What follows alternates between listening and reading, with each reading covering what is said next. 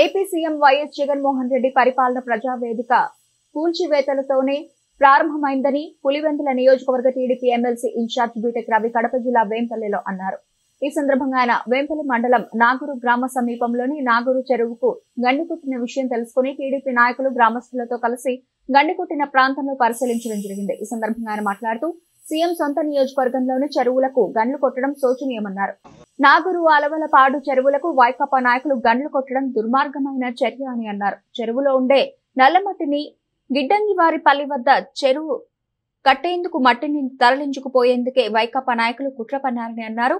పార్టీలకు అతీతంగా అలవలపాడు నాగూరు గ్రామస్తులు ముందుకొచ్చి పోరాడాలని పిలుపునిచ్చారు. ఇరవై నాలుగు గంటల్లో చెరువులకు కొట్టిన గండ్లు పూడ్చకపోతే హైకోర్టుకు వెళతామని చెప్పారు. చెరువుల్లో ఉండే నీరు మొత్తం బయటకు పోవడం వల్ల రైతులు తీవ్రంగా నష్టపోయారని తెలిపారు. అధికారులకు నాగూరు అలవలపాడు చెరువులకు గండ్లు కొట్టిన విషయం తెలియదనడం శోచనీయమన్నారు. చెరువులకు గండ్లు కొట్టిన వారిపై తక్షణ చర్యలు తీసుకోవాలని ఆయన డిమాండ్ చేశారు.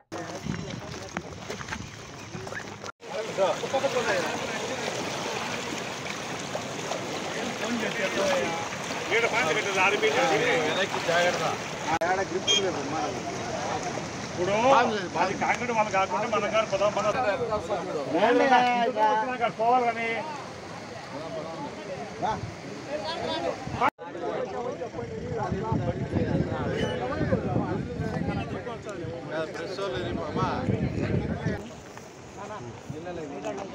ఏముంటాయో రెండు రోజులు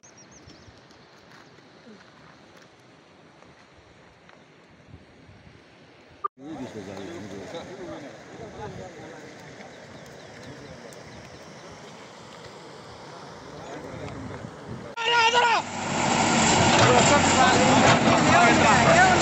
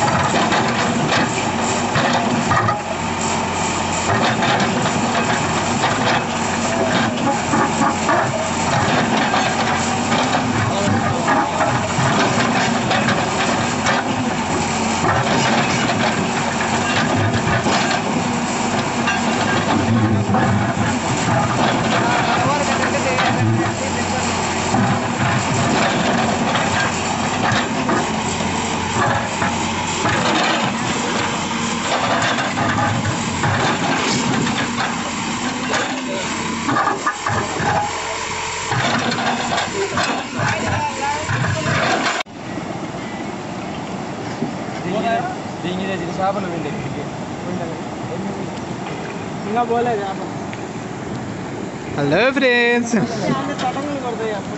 తర్వాత ఇప్పుడు మనం వేంపల్లె మండలం నాగూరు అనే ఊరి దగ్గర ఉండే చెరువులో అక్కడ చెరువు కట్ట అంత ఘోరంగా నిర్దాక్షిణ్యంగా తెంపడం అనేది మీరంతా కూడా ఇప్పుడు గమనిస్తూ ఉన్నారు.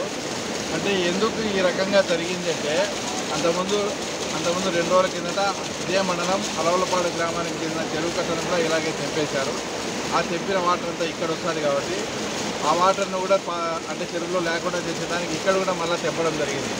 అంటే తెంపడం అంటే దొంగతాటుగానో ఇంకో రకంగానో గండి పెట్టడం కాదు.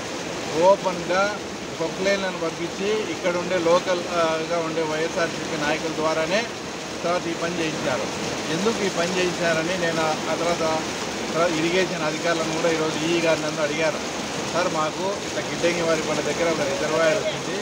ఆ రిజర్వాయర్ కోసము బ్లాక్ కాటన్ సాయిల్ కావాలి. ఆ సాయిల్ కోసమని ఆ చెరువులో మట్టి తీసుకున్నామని మాకు లెటర్ అయితే వచ్చింది కానీ మేము ఇంకా అఫీషియల్గా పర్మిషన్ అయితే ఇవ్వలేదు. మాకు గండి పెట్టిన విషయం కూడా తెలియలేదని అధికారులు చెప్పడం. అంటే ముఖ్యమంత్రి గారి సొంత నియోజకవర్గంలో పెద్ద చెరువులైనటువంటి అలవల్పాడు చెరువు నాగూరు చెరువుకు తొక్కనతో గండి పెట్టి కొట్టినది కూడా ఇంజనీరింగ్ అధికారులకు తెలియలేదని అని చెప్తుంటే కూడా మనం నమ్మాలా నమ్మే పరిస్థితిలో ఉండాలా మీరు చెప్పండి.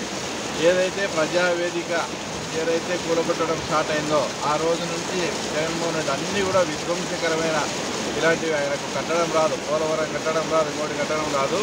భస్మాసురుడు కదా లాస్ట్కు తన అంటే తన తల మీద వచ్చేసి తనే చేయబెట్టుకునేట్టు ఈరోజు జగన్మోహన్ రెడ్డి ప్రజావేదికతో స్టార్ట్ చేసి లాస్ట్గా అతని కాన్స్టిట్యున్సీలో ఉండే అతని చెరువులే కూడా ఈ రకంగా గండి పెట్టుకునే పరిస్థితి రావడం చాలా చాలా దుర్మార్గము. తర్వాత ఇక్కడే మట్టికు ఎక్కడన్నా కానీ చెరువుల్లో నీళ్ళు ఆటోమేటిక్గా ఎండిపోతేనో ఇంకోటో అక్కడ మట్టి తోలుకుంటారు జనరల్గా. కానీ ఇక్కడ కాంట్రాక్టర్లు మట్టి తోలుకునే కోసం ఇక్కడ గ్రౌండ్ వాటర్ అంతా ఈ చెరువులు ఉంటే ఈ పల్లెల్లో కూడా చాలా బాగా ఉంది సార్. మా గ్రౌండ్ వాటర్ బాగా డెవలప్ అయిందని కూడా అందరూ చెప్తా ఉంటే. ఇలా అందులో రాబోయేది వేసవికాలం. వాళ్ళు ఎంతసేపునే వేసవికాలం కల్లా ఈ నీళ్ళు అయిపోచేసి దీంట్లోంచి మట్టి తోలాలని ఉంటారు. కానీ ఇక్కడ చుట్టుపక్కల నుండి ఒక ఏడెనిమిది గ్రామాలకు ఈ చెరువులు ఆధారము. ఇక్కడ నీళ్ళన్నీ వదిలేస్తే గ్రౌండ్ వాటర్ కూడా ఎక్కడికో పోయి వేసవిలో చాలా ఇబ్బంది పడతారనే వాస్తవాలు కూడా మర్చిపోయి మాదే అధికారం ఉంది మాదే రాజ్యం ఉందని ఈ రకంగా అంటే ఒక రకంగా దౌర్జన్యంగా చేయడం కూడా అంటే చాలా దారుణం. నేను అలవలకోడ గ్రామస్తులకు కానీ నాగూరు ప్రజలకు కూడా ఒకటే విజ్ఞప్తి చేస్తాను.